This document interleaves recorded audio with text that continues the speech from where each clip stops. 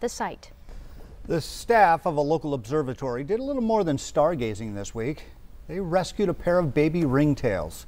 The staff of the Fred Lawrence Whipple Observatory found the ringtails abandoned in a deep wall shaft in Amado.